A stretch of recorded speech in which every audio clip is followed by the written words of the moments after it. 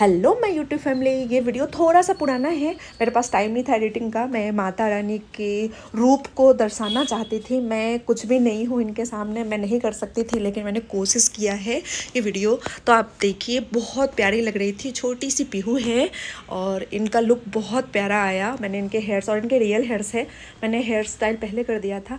माता रानी के मेकअप में बहुत कम से कम प्रोडक्ट का मैंने यूज़ किया है, क्योंकि माँ के स्वरूप को दर्शाना मेरे बस की बात नहीं थी। थी। बस मैंने छोटी सी कोशिश की है। मेरा आई मेकअप कंप्लीट हो गया है और मैं बेस पे हल्का सा फाउंडेशन अप्लाई करूँगी। मैं बिल्कुल कम मेकअप करूँगी क्योंकि बच्ची है और उसकी स्किन काफ़ी अच्छी है। तो मुझे ज़्यादा मेहनत करने की ज़रूरत तो नहीं पड़ेगी।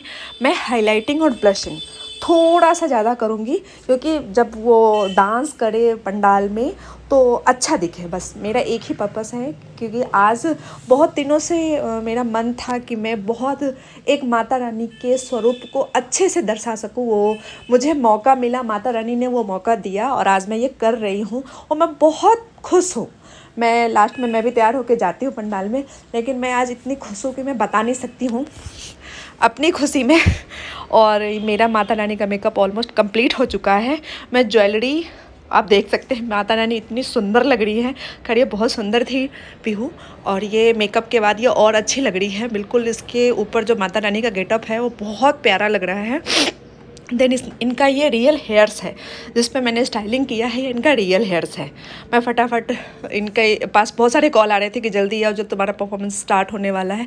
मैं फटाफट की हेयर स्टाइल देन लास्ट में मैंने हाईलाइटिंग का जो है, थोड़ा सा वो टचअप दिया है, ताकि जब ये हंसे तो अच्छे सा इसका स्माइल अच्छा दिखे। और ये माता रानी की एंट्री बहुत प्यारी एंट्री हुई।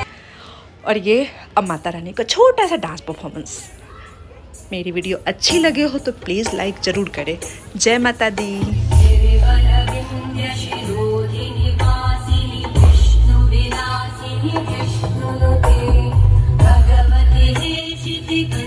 बहुत सारी जनता आई, बहुत सारी जनता आई थी इनके साथ फ़ोटो लेने के लिए। मैं भी लाइन में खड़ी थी कि मेरे साथ भी ले लो।